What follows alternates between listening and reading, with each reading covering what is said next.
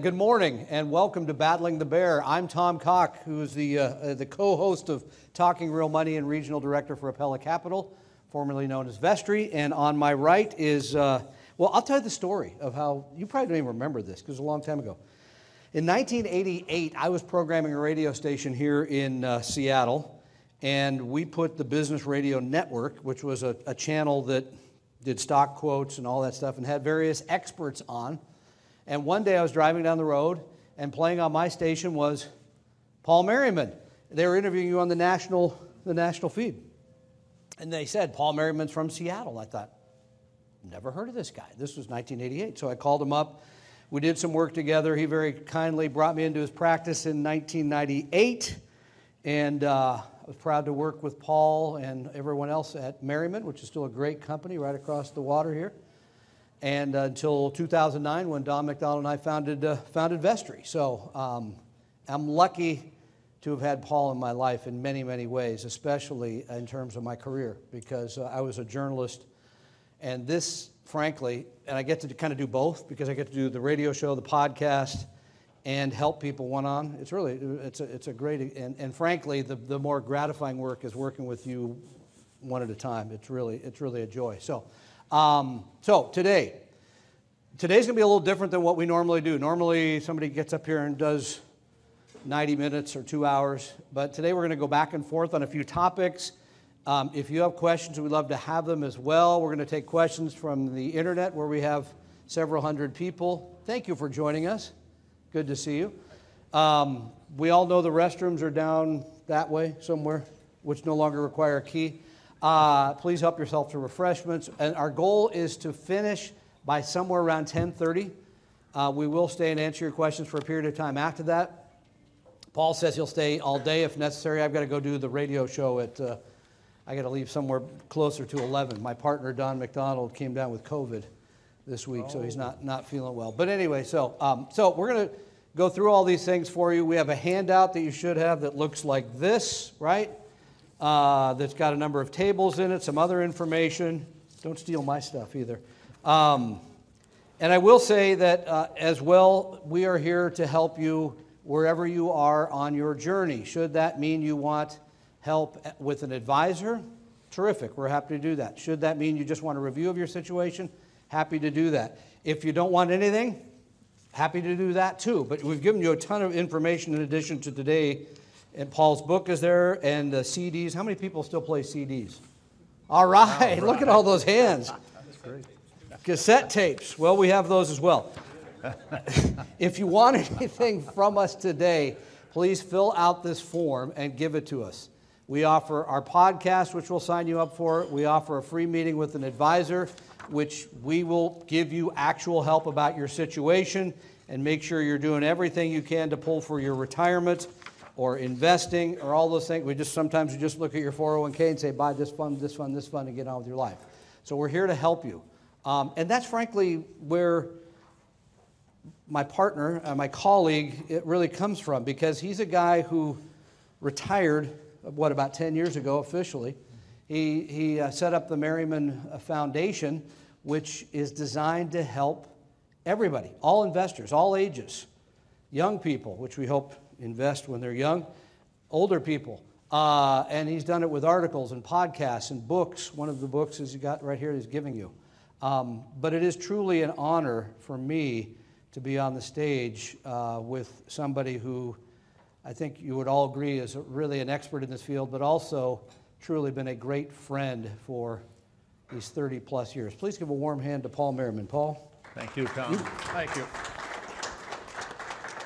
I was actually going to pretend I could not get out of the chair. I will tell you, working with Tom Cock was absolutely one of the joys of my, of my life. And uh, we have within our foundation a whole bunch of things that we do podcasts, articles, books, videos. And then we also have identified what we call truth tellers, people who are reaching out to educate that we think are teaching the right thing, the thing at least that we are comfortable with, the things that we would expect to come out of the academic community. which is one of the, the forks in the road that we have to face as investors, and maybe one of the biggest forks in the road in terms of the lifetime impact. Do we choose to follow Wall Street? Do we choose to follow Main Street? Main Street being our neighbors, our friends, our folks at the, at, at the office that we might talk with about investing? Or do we follow the work of University Street, which is the academic community? And from my experience, uh, for almost, I think, 60 years now, I just turned 79. So, yes, I started investing 60 years ago. From my experience, uh, the academic community, while they don't all agree, which shouldn't shock us, but it is the, the most dependable source of information that I know. They know the past at a level that nobody else does. Or if they do, they don't tell you. And so uh, I, I think the work that Tom and Don and firms, my, my firm, my old firm, I've been out of the business for 10 years uh, uh, when I started the foundation, but, uh, uh, but, but their commitment to the academic work is, is the same. So Tom gave me some topics that, uh, that he thought that I would like to cover, uh, and he knows my work, I think, pretty well. And I said yes in a, in, in a minute. And um, let me make sure I got this. Uh... Now, Tom, you know me and computers. Can you figure that out? Yes. Watch this. Oh, you're amazing. And you're up on the next slide. And you get your pen back. And how do I get that next slide? Just kidding. Just kidding. Okay, you really wanted, you really want a story? When I came to work with Paul in 1998, he was still using overheads. You remember overheads where you write on the thing? And I told him, we had to go to a computer, and he said, no way, man, we are never going to a computer. We did, so. And if we had overheads here today, I'd be so happy. anyway, how to manage your portfolio in a bear market. By the way, the answer to that, that title could be the same answer as how to manage your portfolio in a bull market. Because the idea is to build a portfolio for all the time. But I think the thing that is unique about the bear market is because it attacks an emotional part of us that is so different. I'm talking chemically, according to the experts, than how we feel when the market's going up. Think about how we feel when we buy a lottery ticket. We actually can, for a few seconds, have, a, have this picture of we win. And we know the probabilities may be 300 million to 1 against us, but we still have a chemical reaction that, that implies something that is, is good. And loss, that's the other side of the coin we have a different a set of, re, of responses. So here's what I know about bear markets. I know that they are normal. They are the part not only of the market for as long as we know the market. Bear markets are what bear markets represent a period where we're not doing as well as we were before, except in the case of a bear market, they put a number of a 20% decline. But we face bear markets all the time in our regular life. We face bear markets in our marriages. We face bear markets at work. And we also face bull markets. But the bears are the hardest to deal with. What I know about the bear markets is about the past. And that is the work that Tom and our firm, our foundation, that's what we do. We look we look at the past going all the way back to 1928. When we go all the way back to 1928, what we know is you get a bear market about every 3.6 years. But that's an average. And there's the old story about the kid who drowned walking across a river where the average depth was two feet. Average can be so misleading. How old we are likely to be will often read the average. I am not stopping there. And I want you to know that along with that average uh, of one every 3.6 years, you're going to lose on average 36%. But twice in between 2000 and 2009, we lost over 50% on the S&P 500. And by the way, typically when you're hearing about a discussion about bear markets, you're talking about the S&P 500. And it's also important to note they do not include the reinvestment of dividends. So bear markets can be bad, but they're not quite as bad as they say because they're not including that money that you made in dividends. So 36% once every 3.6 years. But wait a minute. Is it worse at sometimes other than others? Well, yeah, from 1928 to 1945, there was a bear market every 1.4 years. How would that be emotionally? How do you think people felt about investing back then? Hardly anybody wanted to be part of it. It wasn't really until this, the, the, the 50s and 60s that the public was coming in more seriously in investing for the long term. But from 1988 to 1999, there was no bear market. Not one. So we can talk about the average, we can be emotionally prepared for it, but I can't tell you whether the next decade is going to look like the 30s, the 40s, the 50s, or something even different than anything we've seen in the past. And we've seen some bear markets this year at, in the fixed income arena that are different than what you've seen in the past for all of us. It's important to know, particularly and teach young people, there has never been a permanent bear market. I can tell you all sorts of ways to create a permanent bear market and lose 20% of your money, 30% of your money for life and not ever be able to get it back. Those are the bear markets I'd be concerned about personally. Those bear markets might be things like uh, well, uh, buying a load fund and losing one half of 1% for the rest of your life on your equity investments. It might be investing in a mutual fund that has high expenses and paying an extra 1% a year for the higher expenses of the mutual fund rather than being in an index fund at one tenth of 1%. That is being in an actively managed fund in a taxable account where if you know how to read Morningstar, you'll find out that you're going to lose about 1% a year based on the taxes you pay if you're in the upper uh, rates of taxes, not the lower rates of taxes. But there's about a 1% difference between the after tax return of actively managed funds and index funds. Those all turn into bear markets, but they don't come back. The beauty of dealing with the bear markets that we get all upset about. And I know, you know, some of you get really upset. If you leave a light on in a room after you leave, you get upset because there's waste here. So it doesn't surprise me that we, the bear market that takes 30 or 40 or 50% of our money is unsettling, but it has always come back, including in Japan. It just sometimes takes longer than others. Go ahead and click. Just click it, huh? And then hit continue. This, I don't know why I think it's popping up. It's okay.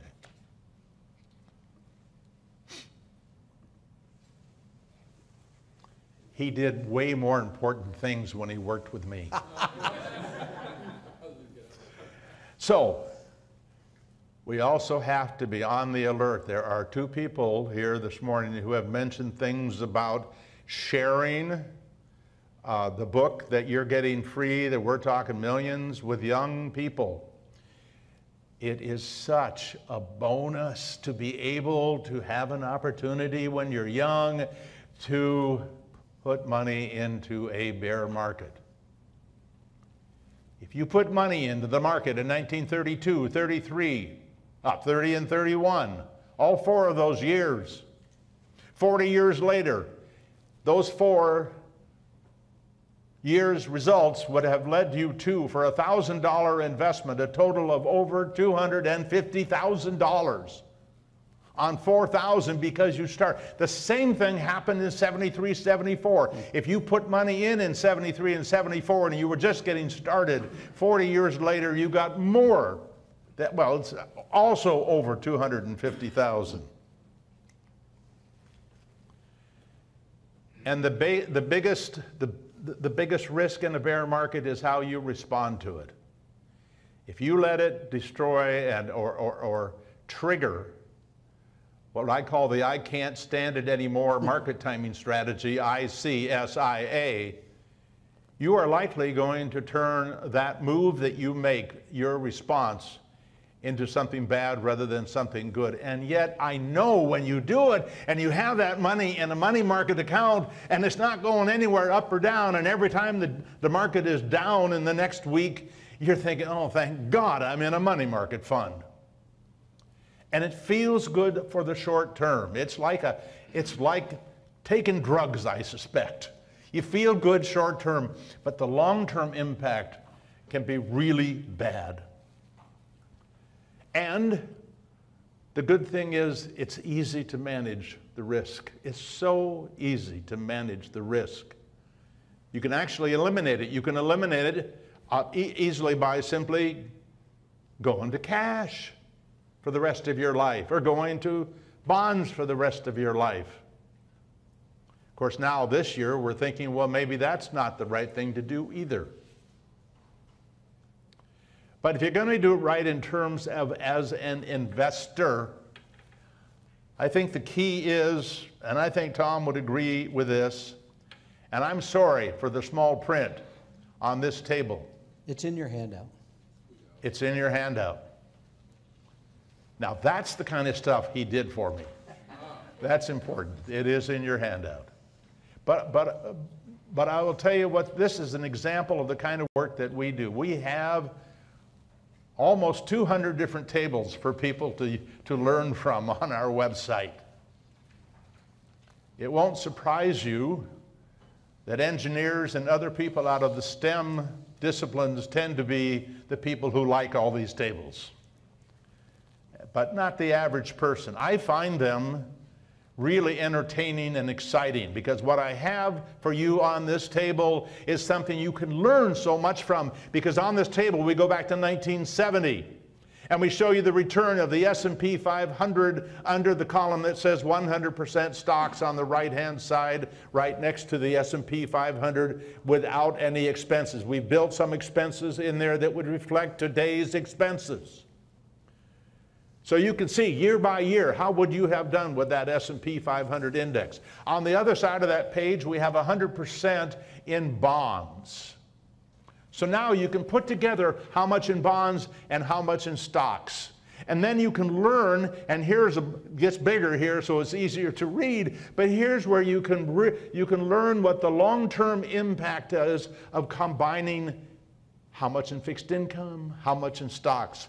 If we looked at the 100% equity portfolio, we can see right there that compound the annualized return was 11% over the last 52 years through the end of 21.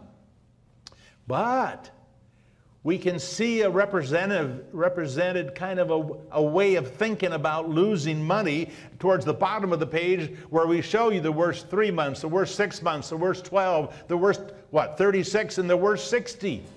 Those are the kind of things you might have to go through in order to survive a bear markets or down markets over a long period of time. And I think we should take it seriously. I know uh, at 79, my wife and I are 50 50 stocks and bonds. We have decided we are willing to lose, what does it say here, 50 50? The worst year is a loss of 23.2%. And I wouldn't be shocked if it were 25. But we've taken it on contractually in a way because we see this and we assume the future could be similar. So these tables are built to give you a sense of the process. I'm almost done. I have no idea. I'm not going anywhere. Really? Okay. I got to wait for the other guy who talks more than me on the other show, too. So Oh, that- it's okay. I'm, I'm good with that. See what I mean? Every comment has a response. It's great. On D1.4, this is putting the S&P 500 and all those different combinations to work for you in retirement, starting with a million dollars and taking out four 44% of that million dollars and increasing it every year by the amount of inflation over that 52 year period. Again, we can see the bad stuff. We can see where you started out with a million, but by the time that you got down to 73 and 74, you were behind. You were taking money out, but your principal, part of it was gone. You can also see, by the way, what you'd have at the end of the period of time. You can look out 30 years. You can look out 40 years. How much would I have left for others had I lived through that experience? And some of the time the market was great, sometimes it was terrible. And that's the way it's going to be in the future. But here's the thing that's interesting. Oh, got it again, Tom. Here's the thing that is interesting. When you go to that next page, which it reflects Thank you. Reflects one decision on your part as a family or individual. Instead of taking out 40,000, one way you can protect yourself against bear markets is take out 30,000 so that when the bear market is taking money away and then you're having to live off of the money that you were getting out of that portfolio by taking out 3 or 30,000 instead of instead of 40, it may not sound like a big deal, but if you look at the bottom line numbers, you will see the amount of money you had left that you defended against losing by taking out less. We know this intuitively, that's the way it would be. Here's an example of how it actually looks. And to the extent that you like this kind of information, we got over, a, I think, about, about 80 tables that are just about distributions for people who want to test. And, and, and one more thing, we now have an investment calculator where you can put your own numbers in and crank out the results rather than numbers we make up. And now, you got it. Thank you, sir. Thank you, Tom. So those are a lot of numbers, by the way, um, in case you didn't know. Paul's very comfortable with that. And what, what I find in practice uh, for most of our clients is this is a year by year decision. How, how do you, when you do your distributions, do you look at the balance at the end of each year and decide what you're taking or on a personal level? Exactly. It's all on a formula. The first week of each year, we take out 5% of the value of the portfolio uh, that what it, what it was worth on 1231. There you go. And you still have money left? Yes. Okay. I, by the way, I'm here. I didn't without- know how many donuts you might try to steal. Well, I wasn't worried about that. My, my wife could be out shop. No, I can't say that. No, don't say that. That's totally No, inappropriate. Don't, don't say that. She All right. So I, this is a fascinating topic that we decided to put in here because it, this is the number one call we get to our program called Talking Real Money, which will begin airing in a few hours uh, live uh, for those of you who do not listen uh, on AM 1000, FM 97.7 at noon today, Northwest News Radio. The number one call is I just came into money, what do I do? It's not. It, it, it, it's either an inheritance. I sold something, etc. And of course, what do people want to do today? Nothing, because the market's down. Now, you just heard Paul mention the fact that buying when markets go down is a good idea. Interestingly enough, I read a piece from Charles Schwab last night around this, which I think you'll find interesting as well, Paul. They had some fascinating numbers. Uh, for people that, this is for young people, put in $2,000 a year for 20 years and invest in a, a globally diversified portfolio. If you invest it as you get the money, after those 20 years, you have $162,000. If you invest at the highest point each year, in other words, the market goes up, you put it at the highest point, you have $141,000 at the end of the 20 years. If you stay in cash, if you just take the two, leave it in the bank, instead of the $162,000, you have $64,000. Hmm. So it's, it's a huge decision. And today, sadly, as far as I'm concerned, it's about $18 trillion of your dollars, because you probably have some of it there too, that is in banks, savings and loans, places like that. So I, I decided yesterday to look at the numbers because the first time in many, many years you can actually make something on your cash. Uh, and out of curiosity, how many of you ran out and bought I bonds in the last year because they were paying 9.6%? A few hands. Terrific. And as you may know, the I bond rate now is, do you know this? You know, six something. 6.8%, which is still pretty generous. And for those of you who've been regular listeners to the podcast and radio show, you know I have not been a huge fan because I find them to be kind of a gimmick. The interest rate is relatively short term. It is technically a 30 year bond that you're buying, and you have to hold them, I think, three years at least to get the, the interest from that higher rate. So I'm not a huge fan. Oh, and of course, it's a $10,000 maximum, and you have to do it on their website, which crashes anytime they get more than about four people on there. so it's a bit of a problem. Um, but if you take your money to the Bank of America, does anybody know what they're paying on the savings accounts there today? 0.01. So, and uh, many of the trillions of dollars are there. Instead, if you went online, and you could do this yourself, we go to Bankrate on a regular uh, basis just to see what people are paying you for your cash or cash holdings. At Bankrate, you'll see that uh, a high yield savings account, I use one. And by the way, you have to be comfortable with the fact that this is all online. There is no bricks and mortar, there's no place to go into to see somebody there and make sure your money's okay. So you have to trust the internet in a way. But at Bask Bank right now, with no minimum and no duration, you can get 3.6% in a high yield savings account. Capital One, you may have heard of them, you can get 3%, which is pretty decent. Again, considering the cash paid nothing until very, very recently. CDs, how about this make you feel good, Paul? How about a one year CD you can get at Capital One now at 4%? Uh, there's some brokered CDs at Wells Fargo that you can buy through Schwab for 4.5%. Don't trust Capital One, Marcus, I guess operated by Goldman Sachs, you get 3.6%. You get the idea here that cash now is paying something. And uh, you need to be a bit nimble and pay, and pay close attention to it. Paul mentioned money market funds. Vanguard's money market fund, I'm not a fan of money market funds in general, by the way, but Vanguard's money market fund, which is VMFXX, paying 2.9% right now. So, again, some of these things that we sort of ignored for a long period of time because they weren't paying anything at all, if you ha- insist on having money in cash, you should at least be efficient enough to move it to one of these places where you're getting something. Because the people that are making money on that $18 trillion, while you're not, are the banks. And that's one of my big arguments is again, be more efficient with your cash. Do you have a lot, do you keep a lot of cash? I mean, other than in the bank? I mean, in the, uh, in the back room, in the, in the safe? In the back room. In the back room? Yep, and we leave the back door unlocked. Thank you. I know where you live too. By the way, so- that, that Vanguard fund that you quoted, I think is a federal, I think you're right. uh, so Yep. that's one of the reasons it's lower. So, and- and- but, so let's talk about uh, places also for short-term cash. Now, there was a, a bond fund that Paul told me about 25 years ago, and uh, it's the Vanguard Short-Term Corporate Bond Fund, VFSTX, VFSTX. Interestingly enough, today it's yielding, uh, fascinatingly enough, 5.1%. That's the good news. The bad news is prior to this year, it had one losing quarter. One losing quarter. This year, it's already had three losing quarters and it's down 7.9%. Now, this is a fund that holds short term bonds from corporations that are likely to pay them back.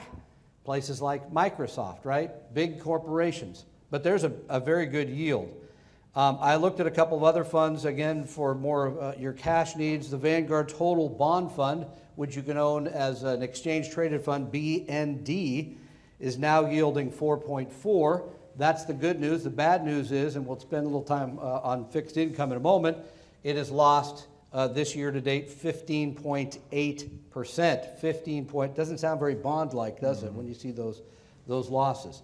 So again, there's more options here. And what I try to tell people that come into our office and I have $200,000, but I'm waiting for something to happen is at least be efficient enough to get something on it while you're waiting.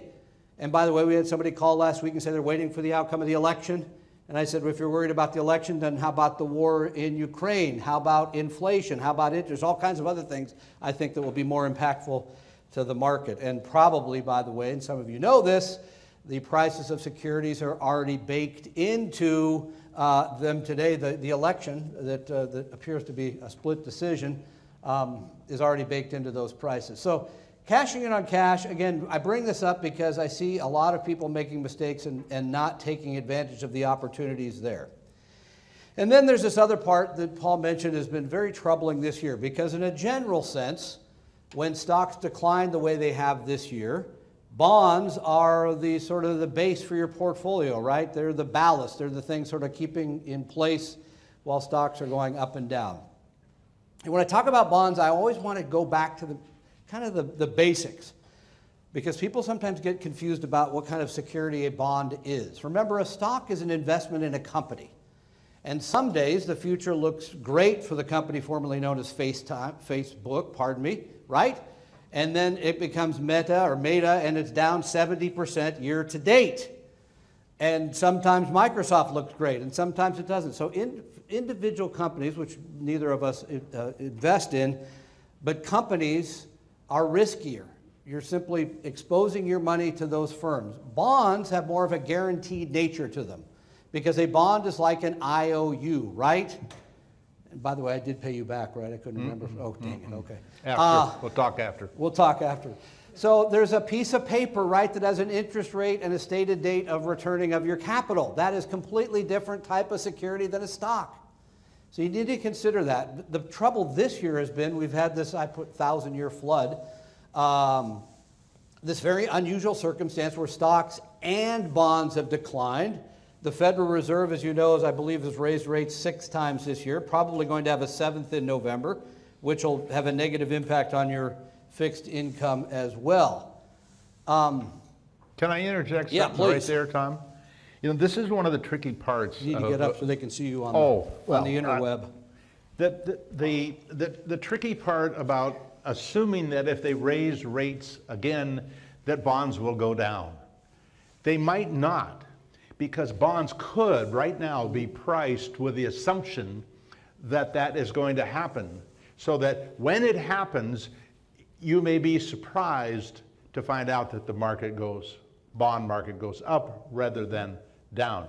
We really don't know how much of that is already figured in kind of the efficient market aspect of stocks and bonds. It's a good point. There isn't necessarily an increase coming with, or a decrease in price based on that. But those two things have been tied together, and we've seen it a great this year. But what people always want to know is okay, if I'm going to have something in bonds, and I think Paul's recommended anyone under the age of 30 has 0% in bonds, I believe is what he told me mm-hmm. once, mm-hmm. which is, I think, smart and not so smart because we know that people have a tendency to react emotionally to their money even when they're in their 20s.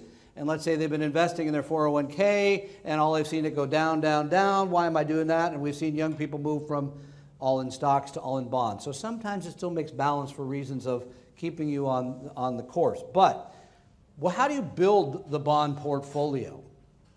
Now, remember the things that have gotten beaten up the most this year, and again, I looked at this number yesterday, is, for example, the Vanguard long term federal or, or U.S. government bond fund is down 32.6% year to date. So it's really, you get further out there in terms of maturity, you've taken a much bigger hit than instead, again, building the portfolio, we would prefer to see short and intermediate term duration, how long the bonds are. We would only use bond funds or bond exchange traded funds. And then we would use high quality, um, ignoring things like high yield bond funds, ignoring things that have a, a high risk to them. Because again, even though they've gotten beaten up this year, the bond part of your portfolio should be the safe part of your portfolio. Um, and I was going to ask you, Paul, if- can you get up again or want me to pull you up? No, kidding. Uh, look at, Oh, no, it didn't work. so in your bond portfolio, you, Yes. I think you, we always had the, the ratio. Some Give me- TIPS. Yeah, 20% in TIPS. that's right. Short-term TIPS. 30% in short-term, and these are all government, and uh, 50% in intermediate. You want to say And, that uh, again? 50% in intermediate, 30% in short-term, and 20% in short-term TIPS. You can buy longer-term TIPS or shorter-term TIPS. They're less risky. The idea is, it's not for, it's not to create income, it's to create stability. And it did what it was supposed to do this year. I mean, it, it, it isn't pretty, but just as if we're doing a diversified portfolio of equity, if because of the, of the kind you've chosen, you lose less, because it's good to lose less in the bad times, because it prepares you to make more for the good times. Is so we, we both basically are short to intermediate Stay, in our. stay up, because I'm going to let you take over Oh, here. okay. So you're, you're back up again. Oh. I, I, I do, I've already moved on to uh, the next segment here. So, and maybe at the end of the day, we can spend a couple more minutes talking about bonds, because it is a question that's come up quite a bit this year with these sort of, you have to say, rather dramatic and unexpected in many ways declines that people were not used to. In fact, you have to go back to about the mid 1990s to see similar type of type of moves. Um, I personally, and the people that I talk to, believe that what we're seeing is this with this shift to uh, higher interest rates that we'll get back to a more normal bond market in the long haul, where those fixed income payouts will be more like four to five percent, providing the stability while stocks are moving up and down. It's, but the, the pain of that birth has been a lot to take in, in one year. So come on back over here. So thank you, boss. Paul is going to talk for a couple of minutes about uh, hiring advisor, getting, getting good advice, all that kind of thing. So go And, ahead, I- sir. and I'll just tag one more thing about the bonds. It is amazing to me how, when things are down, we, we go into this mental state where it's a bad thing they're down. It's a great thing that bonds are down right now. I mean, it, it, what is, is, but now that it is, when you think of the terms of the returns that Tom was just talking about, how does that feel as a retiree to know that you could put money into some fixed income instruments that you might get 4% a year? Anybody like that? And yet, what we hear is don't buy bonds.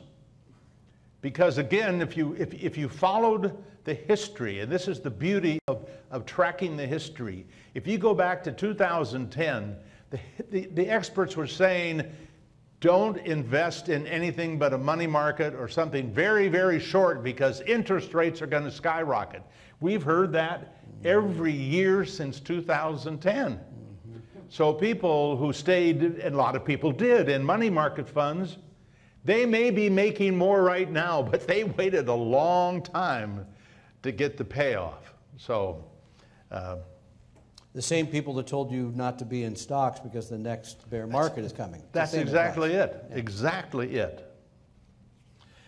This is the most popular free book we've ever had.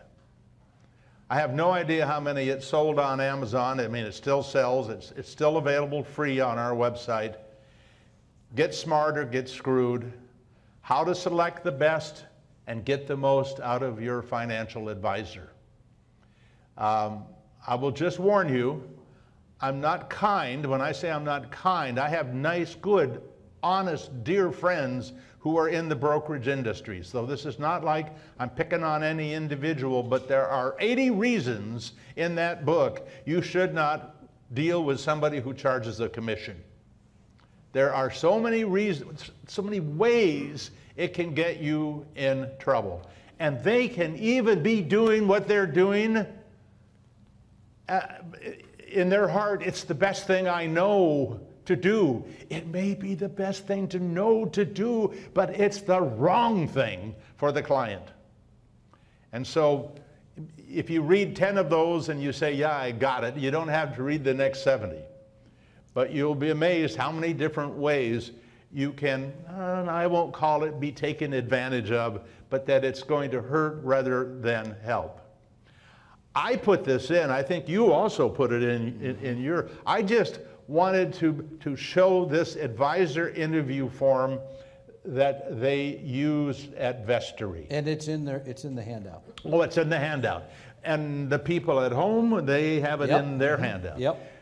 You know, the, the, the, the question is if you know you're going to go through this process, I don't care whether it's at Vestry or any other firm in the business, these are things that should be part of the process in thinking through the decision, uh, what, what you uh, are, are wanting to know. Also, you all got a free copy today of Financial Fitness Forever, a book that was written because I was doing a special for PBS back in 2012 or 2011.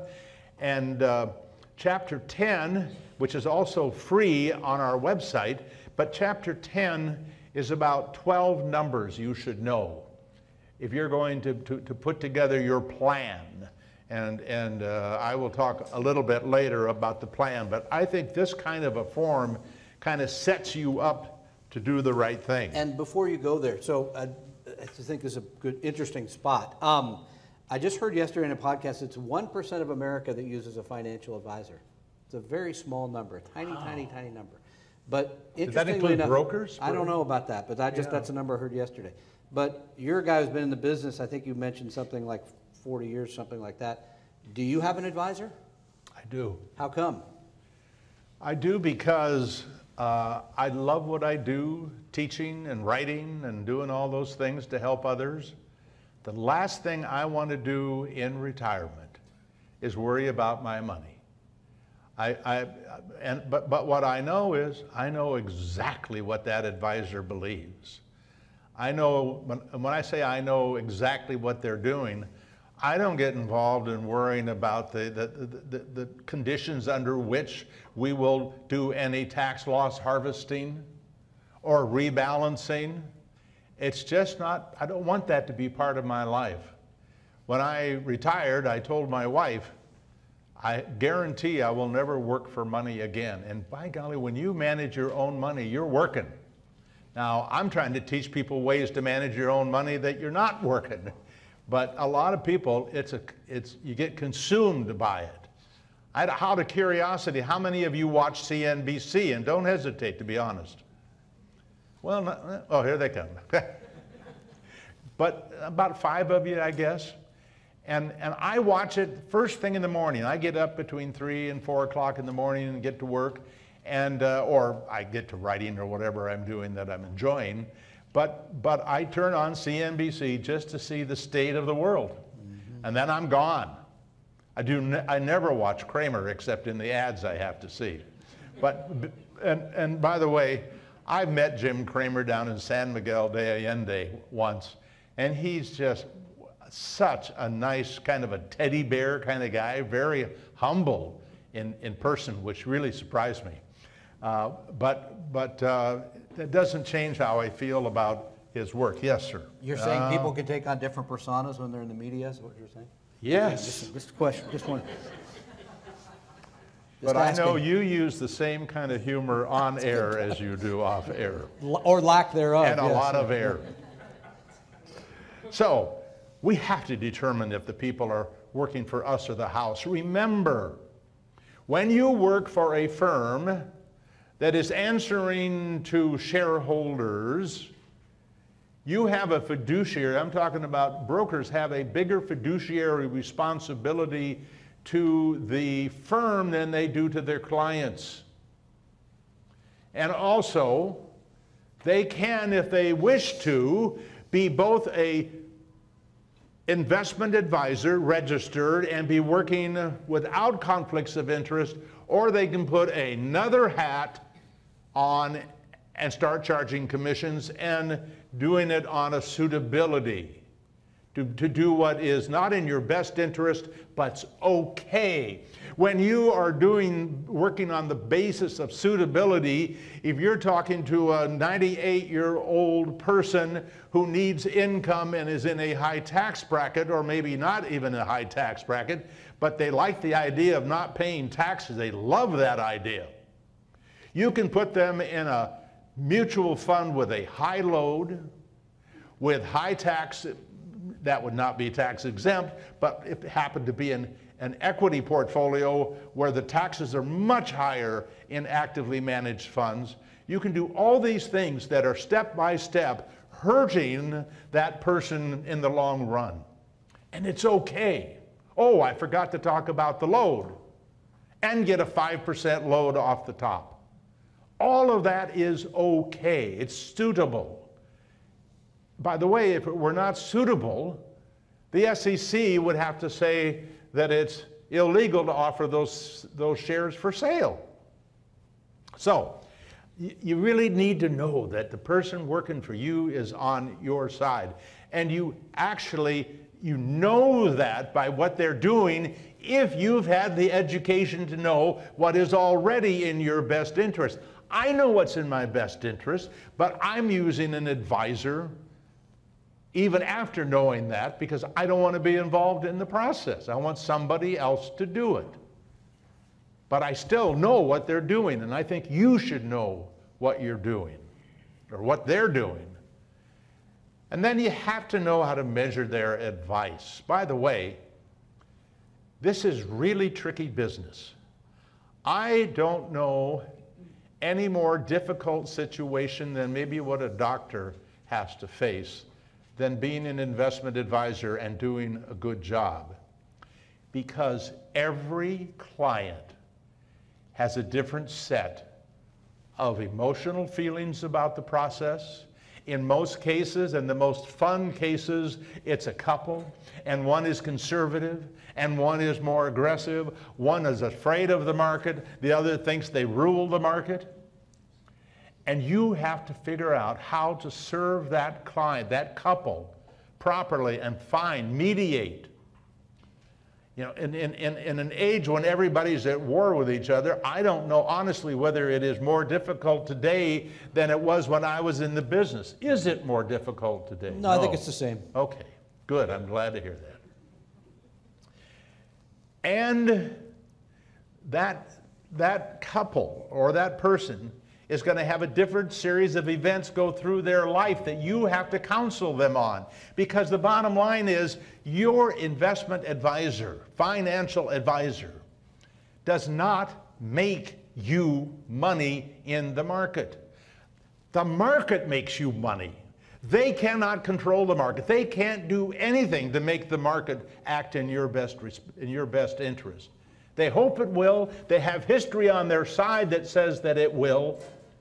But let's not fool ourselves. None of us can either cause the market to go up or down, nor can we know what it's going to do. Because from 2000 to 2009, the S&P 500 had a worse return than from 19, 1929 to 1938. A lower return. And people used to used to make fun of me for going back and showing people what happened back then and to be prepared for that. And they say that, that information does not have any meaning. That happened too long ago to be meaningful. It's just the nature of markets.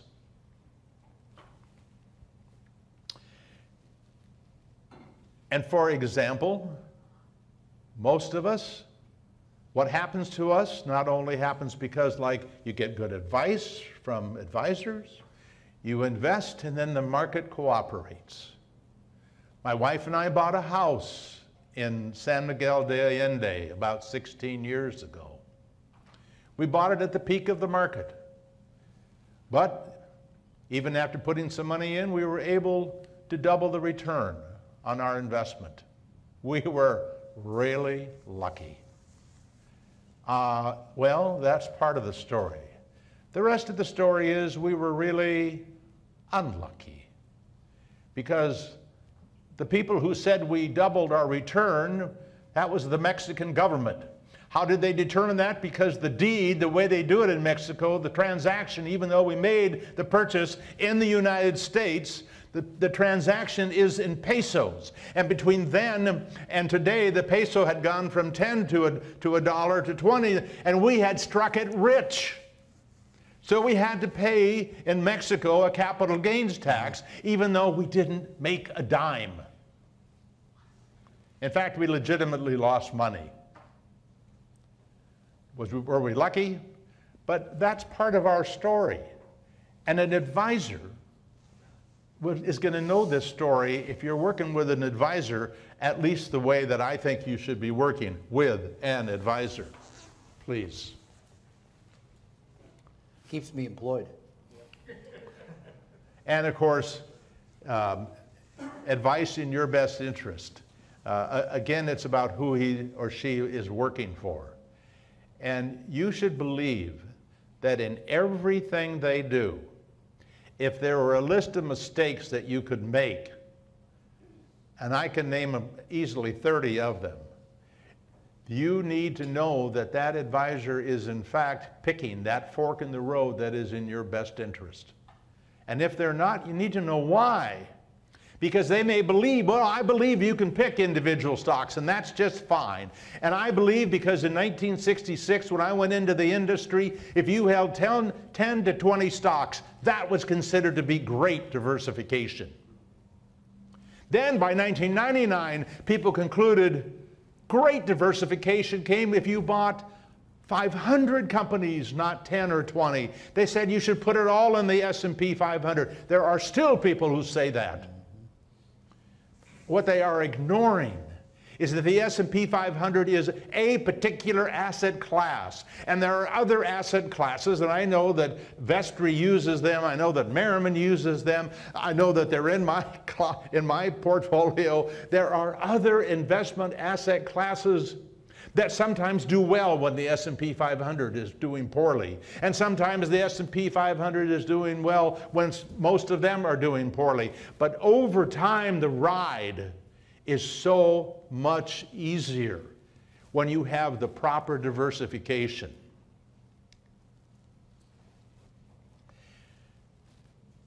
now I think actually This is me. this looks this is the really boring stuff Can somebody help him with the chair right outside the door? Oh, I should ask Tom. Oh, Tom, do you have an investment advisor? I do. I do. He's very good, by the way. And I like what you said about, uh, about retirement. So I'm, I, have to think, I still have to think about what I'm going to do. I have a list of things actually that I want to do, but managing my money wouldn't be one of them. So helping others would be. Um, so I wanted to take a couple of minutes and talk about, in, in addition, oh, by the way, I was supposed to mention earlier that for people that are watching online and you want help, I think they gave you a little uh, website you can go to, talkingrealmoney.com. You click on uh, Meet an Advisor, or I'm supposed to mention our phone number as well 800 386 3004. 800 386 3004 and ask for Tom. That's what they told me to say, right? Okay, so don't call late, I go to bed early. Um, so, okay, here's the thing about retirement income. Most of you, when you meet with us, say, do I have enough money? Is it going to work? Am I going to be able to continue to take 5% out of my portfolio? How's this all going to work?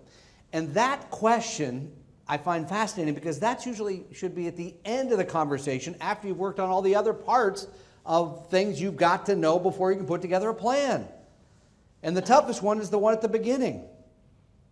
Paul alluded to the fact that, that he doesn't, doesn't sound like you really have a budget per se. You, So you get a certain amount of money, and that's what you spend. By the way, it works that way in my house. there's what uh, everything I make is ours. Everything that she makes is her. Anyway, there's a whole other thing. But we find most of you have no idea how much money you're spending, or you think you're spending less than you are, or you, uh, you know, your household brings in three hundred thousand dollars a year, and you sit down with us and tell us, well, our let's say our cost of living is hundred thousand dollars. And I say, you're either paying very high taxes or you're the greatest saver we've ever met because it turns out most of us are in denial about how much money is going out. So, the first part of retirement income is being honest with yourself, with your advisor, or if you're doing this on your own, putting it on paper in a way. And here's the way I do it. We, when we do this with planning software, and it's very elaborate, and the software is fantastic, but to get to how much you're actually spending, and we have different categories, whether it's housing or all, that all goes in. But here's the way I look at it when I just sit down with you. I will ask you today what sources of income you have. I will ask you how much money is going to pay taxes. I will ask you how much you are saving. Everything else you're spending. That's really it. And most people want to get in an argument about, no, no, it's, that's way how much oh, I forgot I had to take the dog to do that, or soccer required, all those other sort of things that people just put out of their minds. So knowing how much you're spending, that has got to be the beginning of any conversation before you get to whether or not your money will last. And then this part about all of the sources. We have a tendency oftentimes to forget all the things that could be helpful to our retirement income. And I start with Social Security because it, in today's world, the number one question we get about Social Security is Will it still be there for me? Will it look different? And when do I take it? When do I trigger? We know that almost half of us, all of us, take Social Security at age 62. Many people take it while still working. not realizing they're paying a lot of taxes on that as well. And here's something to think about. Here's an easy number to remember. After you reach full retirement age, which for me will be close to 67, still a few years down the road, my Social Security benefit will increase 8% a year plus inflation. 8% a year. Now, is there anything he guaranteed you that's 8% a year? Mm-hmm. There's nothing I can guarantee you that's 8% a year. And yet, most people, it's only 6% of Americans today wait until age 70 to take Social Security. And they don't think about the other person in their lives as well. Because in my case, I've been a bigger earner than my wife. It's harder to make money selling pizza than it is helping people with their financial situation. And boy, after yesterday, I can tell you that's true. But anyway, so in my case, it really is going to make a lot of sense to wait until age 70 to take it. She will, after I leave here, which would be expected to be before she did, she will be able to either have her benefit or my benefit. One, so the numbers make sense. Now, here's the bad news you got to live the 10 years after you take Social Security, right? Because the numbers, they, they do not work if you don't take it till 70 and then you die at 72, you're going to call me up and be angry. And please don't use the number I mentioned earlier. it's overlooked, it's, it's underappreciated, is the way I'd put it. Again, with only about 5% of Americans waiting until age 70 to take it. And the only two circumstances I can really see taking it prior to that is if you really have to have the money, or you know in your family you don't are going to live till age 80. Well, then that I can understand that. Those circumstances are fine. By the way, another one to think about, and this come up recently, is around pensions. And you've seen some of the situations here with interest rates up about whether or not you should take an annuity payout or take the lump sum. Again, something that I don't think gets the attention that it deserves uh, around which one to take, when to trigger, all those sorts of things. People have a tendency to, to uh, just go ahead and say, oh, you know, I'm 65, I want my pension. Then you can go back to the question that you all want to know the answer to is will my savings last? Now paul just showed you i think we still have these here he showed you a couple of different examples as to withdrawals from your portfolio and whether or not your portfolio survives. He shows it for 50 plus years.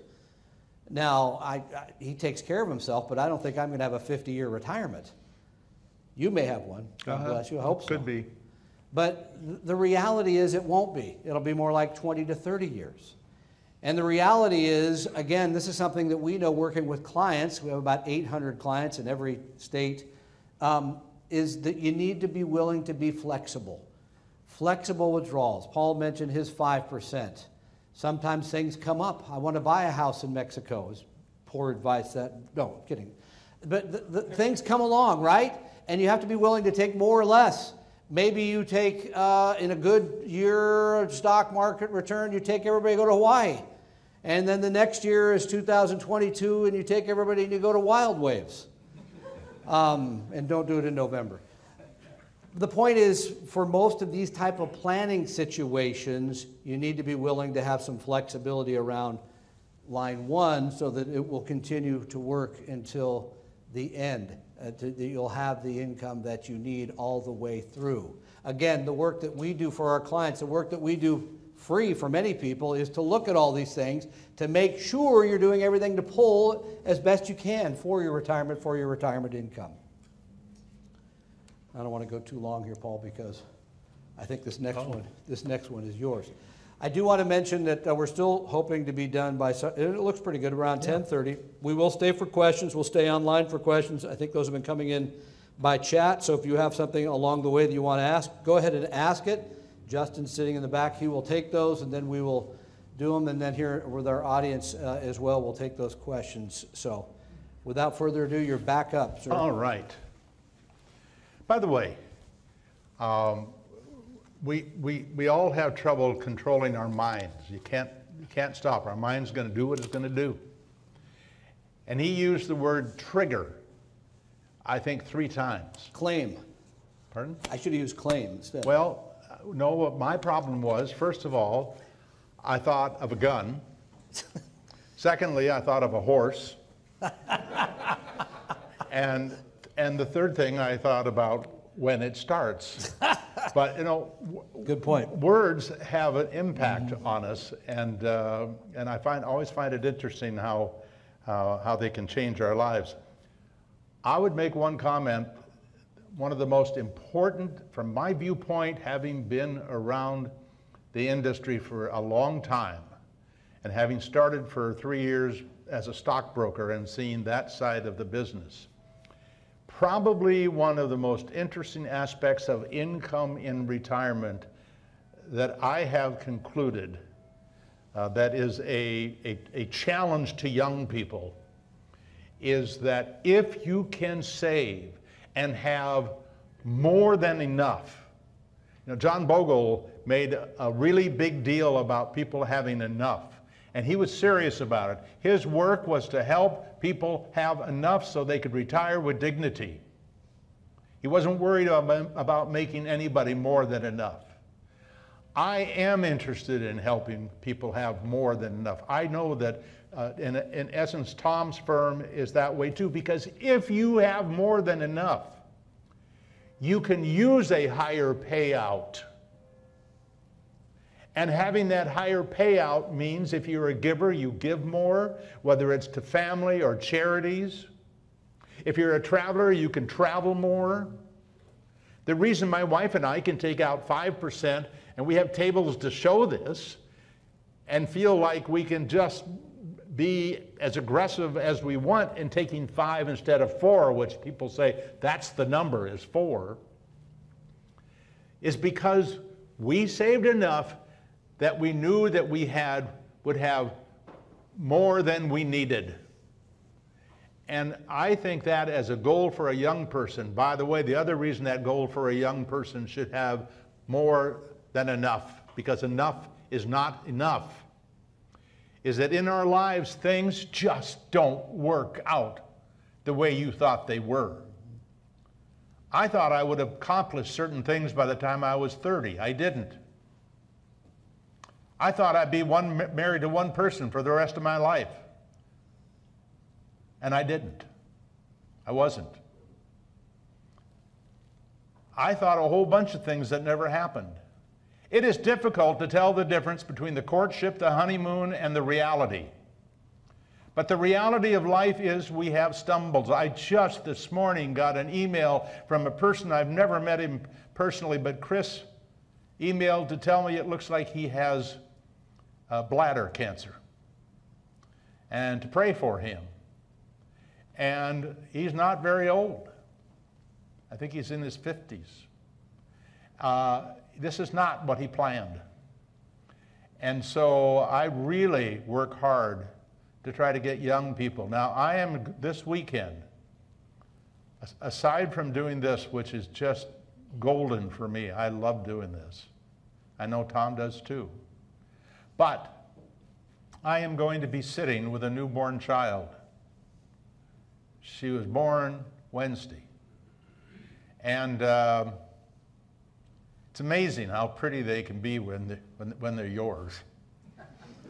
But our first uh, granddaughter.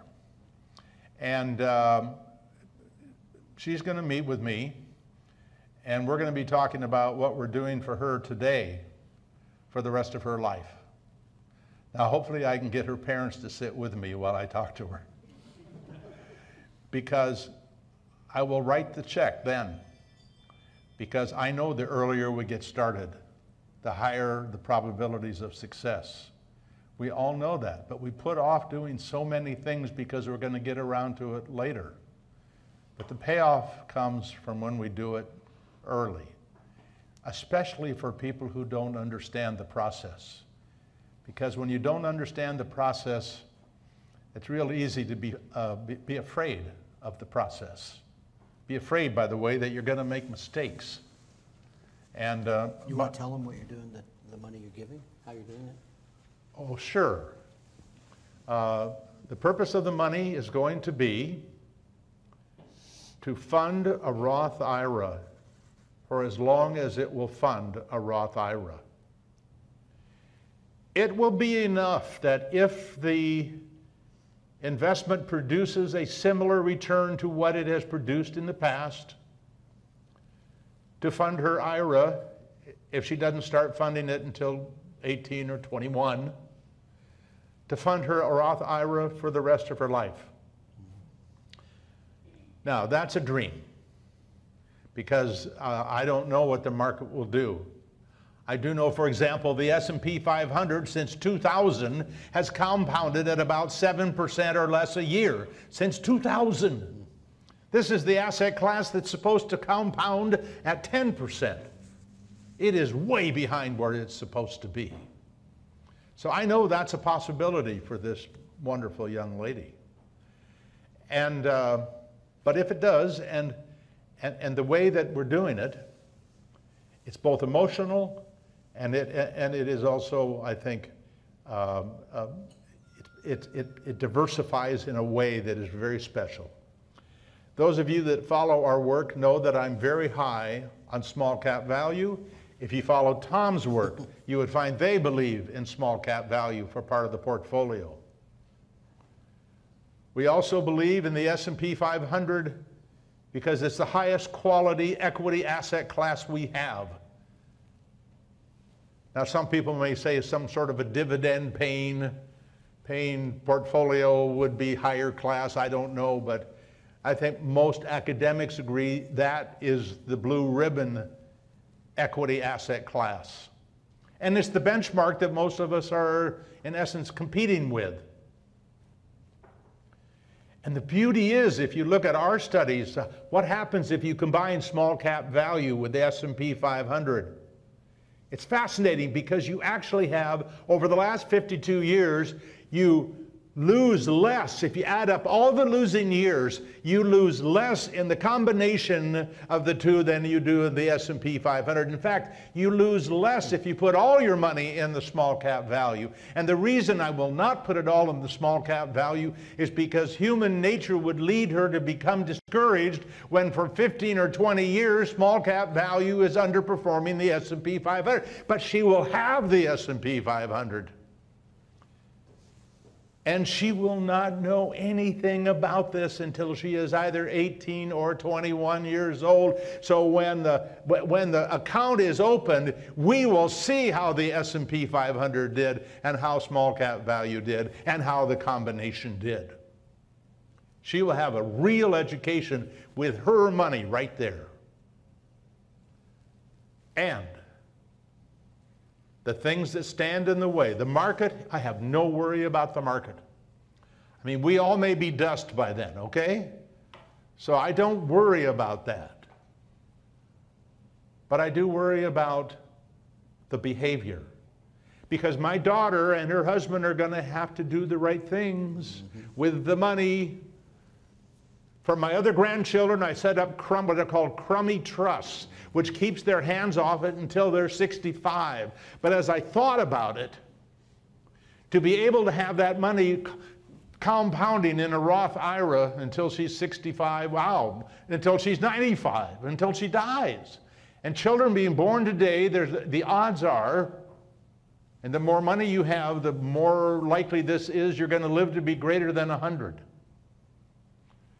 So this is going to be meaningful money for the rest of, of her life. And uh, you can see year by year how that combination would have done for the last 52 years. You didn't know you were going to open up that Pandora's box. And we all worry about mistakes. Every time, I grew up in an environment of uh, if, if, if, you did something wrong, it had to be a serious wrong thing. Uh, smaller wrong things weren't so bad as serious wrong things, but you could get a severe spanking. And as a matter of fact, uh, I didn't even know that he was my uh, stepfather when, when I was young. And, uh, uh and he had this thing that he would spank you until you quit crying.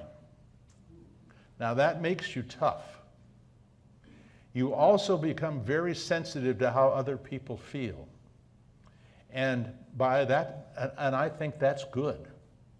I think it helped make me a really, a better salesperson, a better teacher, a better, a lot of things. But I can tell you this, There's nothing that scares me more personally than making a mistake.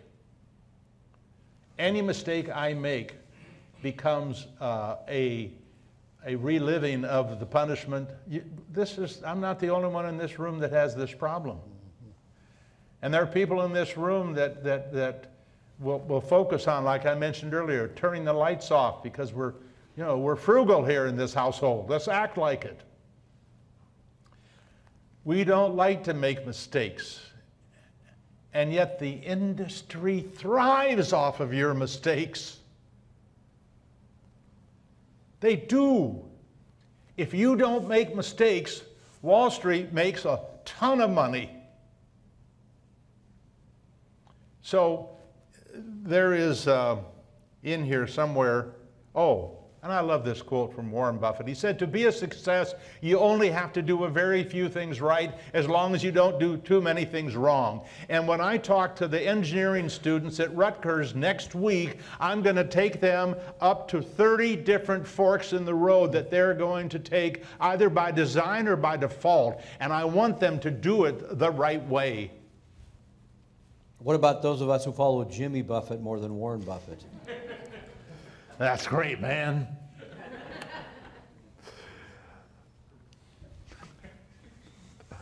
oh, Tom. Oh, Tom. There you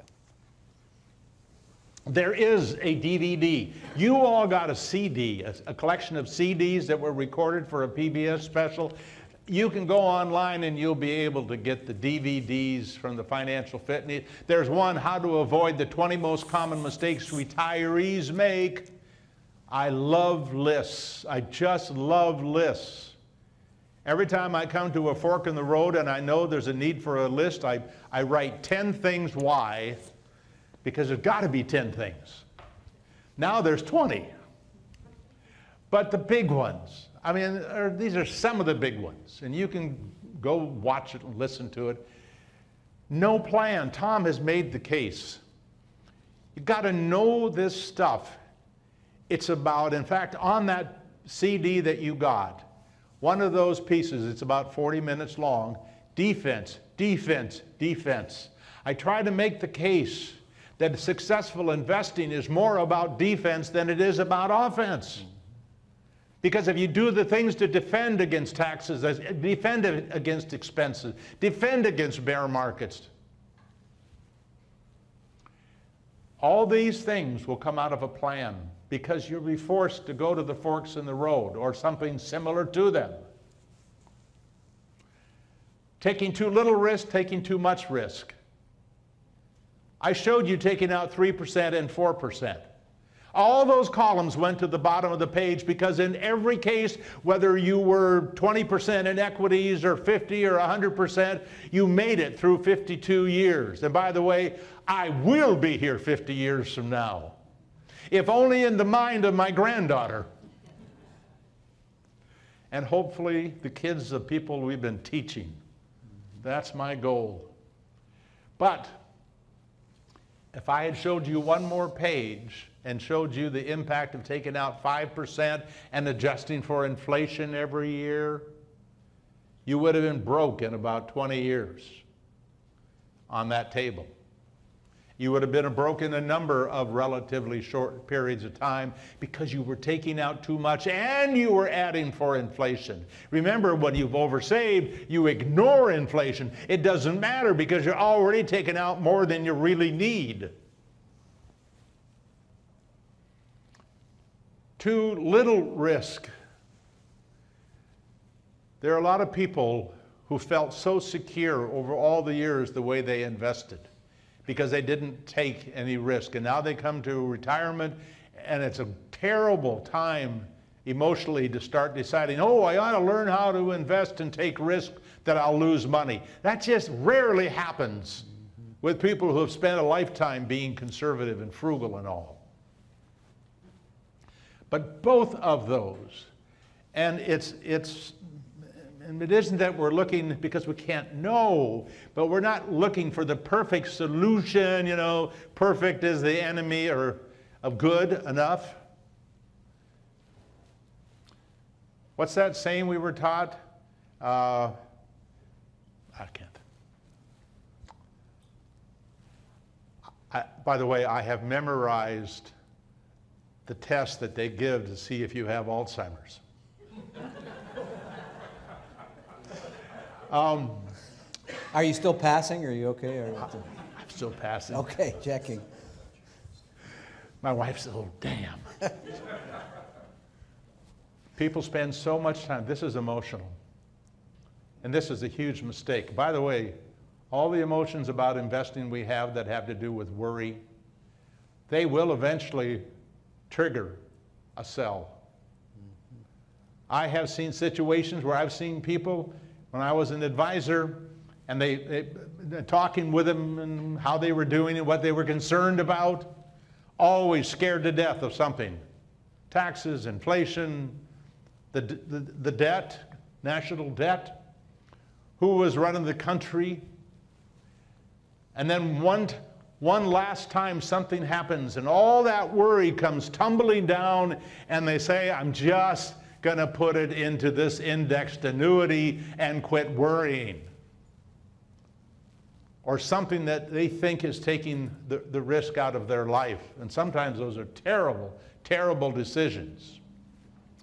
And my wife and I have been reading a book on Stoicism. They are daily readings about Stoicism.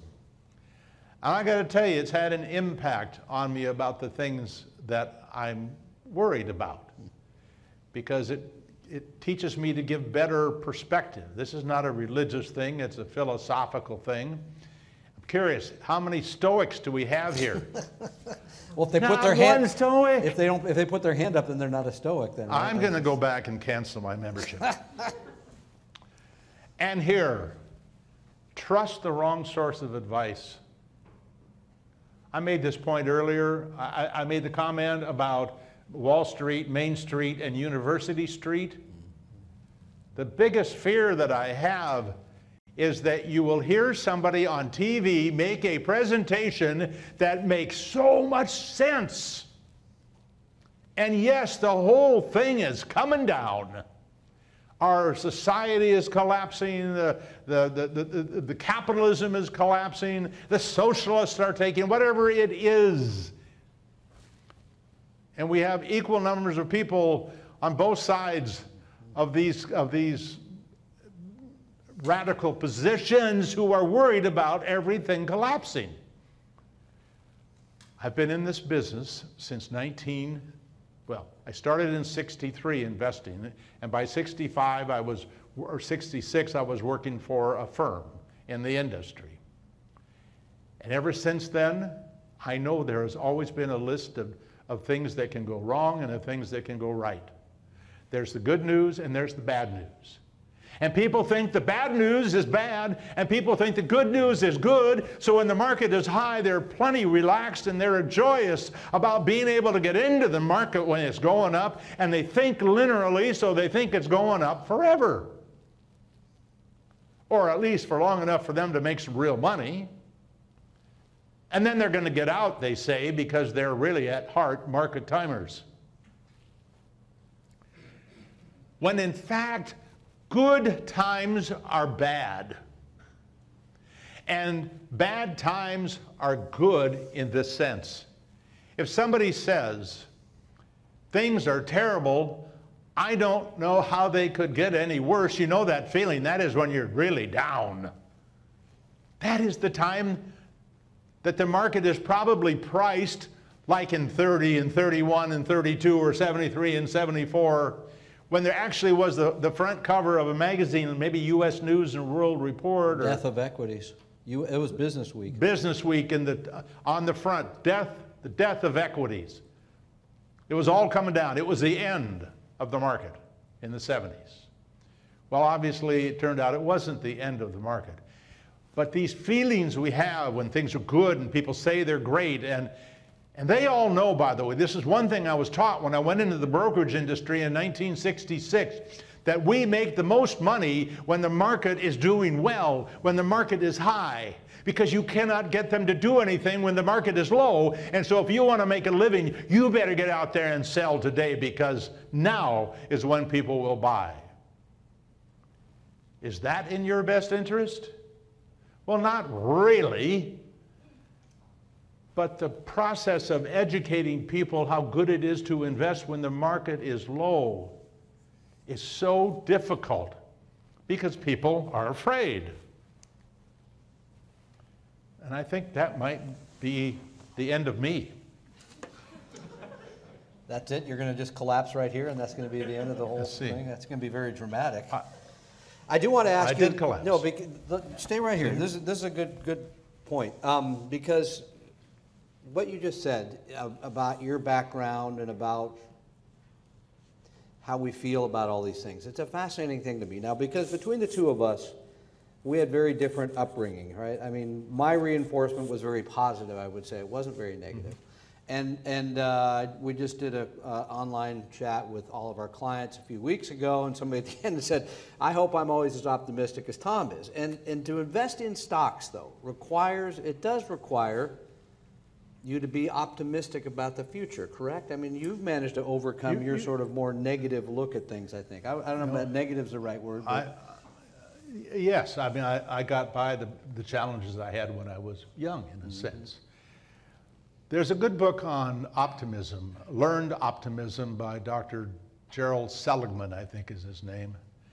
And it talks about the impact of, of optimism.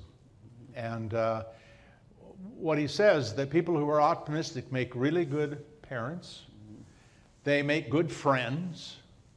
Uh, there's a lot of things that are good about that. Uh, they, I think they tend to be healthier too, generally. But the one problem with people who, oh, oh, and they make great salespeople.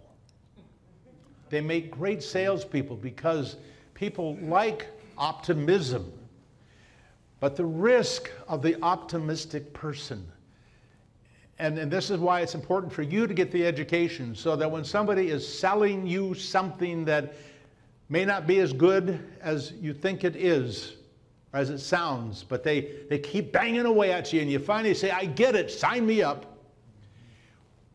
What they find is, is that people who live and see life through rose colored glasses, that's what he calls it in the book, rose colored glasses, are dangerous because they believe the things they say about how great they are, how great the product is, how great whatever it is they're trying to sell. And people who see life through rose colored glasses, I believe, can convince us to take more risk than we should.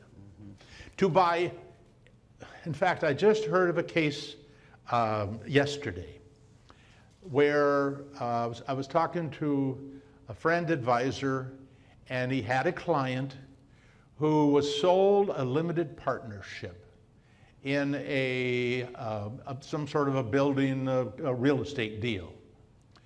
And in there, it's just like in a prospectus for a mutual fund, it will say that that mutual fund management does not protect you against market risk. In other words, when the market goes down, expect this fund to go down because they do not go to cash when the market goes down. That would be market timing, and they don't believe in market timing. And it says that. It's in there. They do not protect you against what may be the biggest risk of all market risk.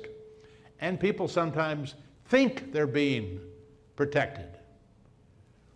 Or they may say on a limited partnership, they may say, there is, there's a risk that you won't be able to find somebody to sell it to if you want to get out of it. Everybody, ever, anybody ever been in one of those?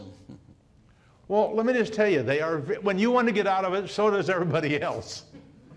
And there is no market except from people who are going to offer you next to nothing.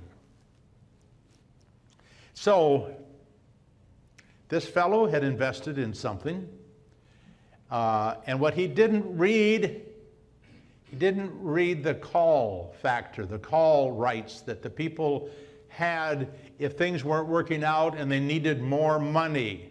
Capital call, I think they call it.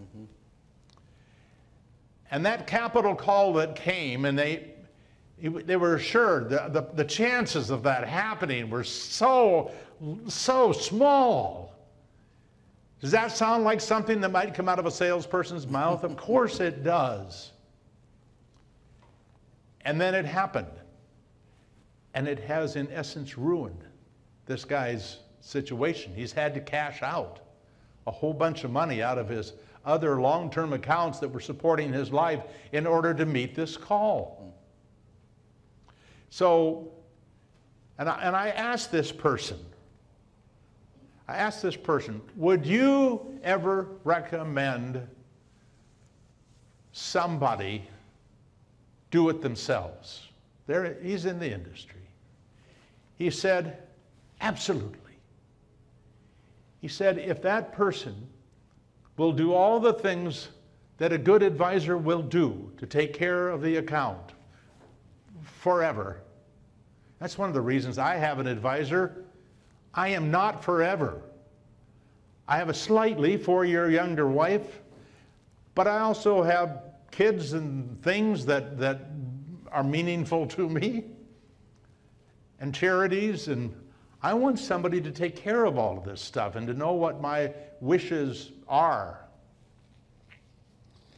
So his point is yes, if you can, in fact, do all those things, which includes reading the fine print of every product that you put them in if you're advising them. This advisor told me there are some products I read them because some client wants to go in this. I read them and I honestly do not understand them. Which means their client is about to, if they don't take your advice, and you say, Look, at I really can't make a judgment because this thing is so confusing. And by the way, the more confusing and difficult a product is to sell, the higher the commission is to sell it. Because the people who want to sell that product, they know it's difficult, so they, they offer very high commissions, sometimes 10, 15%. You know, we know who's getting rich on these things. Anyway, uh, we want you to know that is what, uh, this is my, my sales pitch for today. When I started the Financial Education Foundation, and it's there for newly born children. It's right there. To death. Oh, it is right there. We want to teach people the stuff they need to know. Do not call me for the purpose of asking for investment advice. That would be illegal. I'm not licensed.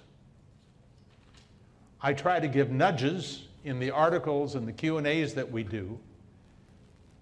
And nudge can be powerful too, I think. But an education is number one.